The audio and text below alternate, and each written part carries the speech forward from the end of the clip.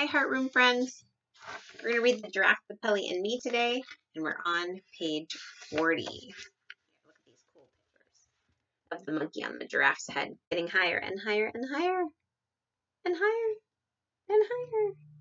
Here we go. Your Grace, the giraffe said, giving the Duke a small, superior smile. There are no windows in the world I cannot reach with this magical neck of mine. The monkey who was dancing about the most dangerously on top of the giraffe's head cried out, Show him, Giraffe, go on, and show him what you can do with your magical neck. The next moment, the giraffe's neck, which heaven knows was long enough already, began to grow longer and longer and longer and higher and higher and higher until at last the giraffe's head, with the monkey on top of it, was the level of the windows of the top floor. The giraffe looked down from her great height and said to the Duke, How's that? The Duke was speechless. So was I. It was the most magical thing I had ever seen, more magical even than the pelican's patented beak. Up above us, the giraffe was beginning to sing a little song, but she sang so softly it could hardly I could hardly catch the words. I think it went something like this. My neck can stretch terribly high, much higher than the eagles fly. If I ventured to show just how high it would go, you'd lose sight of my head in the sky. The pelican, with his huge beak full of water, flew up and perched on one of the top floor window sills near the monkey. And now the great window cleaning business really began. The speed with which the team worked was astonishing. As soon as one window was done, the giraffe moved the monkey over to the next one, and the pelican followed. When all the fourth floor windows on that side of the house were finished, the giraffe simply drew in her magical neck until the monkey was level with the third floor windows and off they went again. Amazing! cried the Duke. Astonishing! Remarkable! Incredible! I haven't seen out of any of my windows for forty years. Now I shall be able to sit indoors and enjoy the view.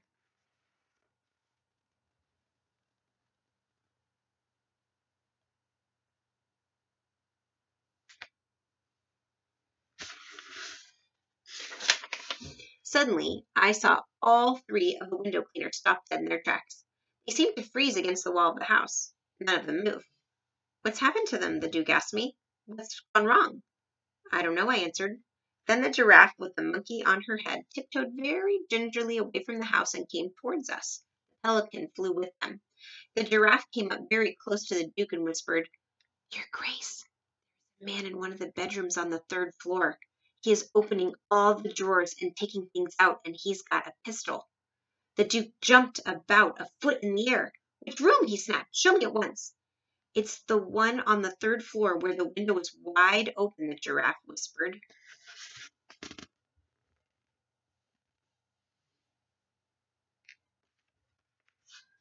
By gad, cried the Duke, that's the Duchess's bedroom. He's after her jewels. Call the police. Summon the army. Bring up the cannon! Charge with the light brigade! But even as he spoke, the pelican was flying up into the air. As he flew, he turned himself upside down and tipped the window cleaning water out of his beak.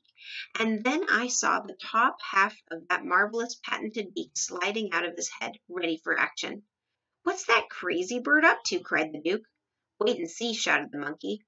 Hold your breath, old man. Hold your nose. Hold your heart horses and watch the pelly go.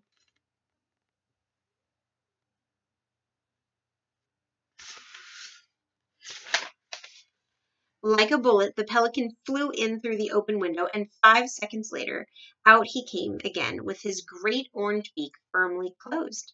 He landed on the lawn beside the Duke. Can you see the pelican? What do you think is in his beak? A tremendous banging noise was coming from inside the pelican's beak. It sounded as though someone was using a sledgehammer against it from the inside. He's got him, cried the monkey. Pelly's got the burglar in his beak. Well done, sir, shouted the Duke, hopping about with excitement. Suddenly he pulled the handle of his walking stick upwards, and out of the hollow inside the stick itself he drew a long, thin, sharp, shining sword. I'll run him through, she shouted, flourishing the sword like a fencer. Open up, Pelican. Let me get at him. I'll run the bounder through before he knows what's happened to him. I'll spike him like a pat of butter. I'll feed his gizzards to my foxhounds. But the pelican did not open his beak. He kept it firmly closed and shook his head at the Duke. The giraffe shouted, The burglar is armed with a pistol, your grace. If Pelly lets him out, he'll shoot us all. He can be armed with a machine gun for all I care, bellowed the Duke, his massive mustaches bristling like brushwood. I'll handle him. Open it up, open up. Suddenly there was an ear splitting bang, and the pelican leapt twenty feet into the air, and so did the Duke. Watch out, the Duke shouted, taking ten rapid paces backwards. He's trying to shoot his way out. And pointing his sword at the pelican, he bellowed, Keep that beak close, sir. Don't you dare let him out. He'll murder us all.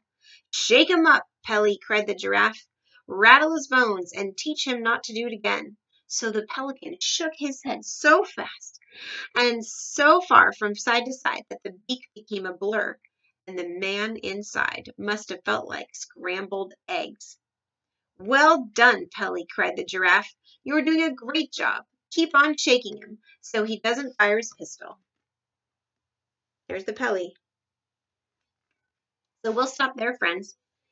I hope you're enjoying the story. It's getting exciting. We'll read some more tomorrow.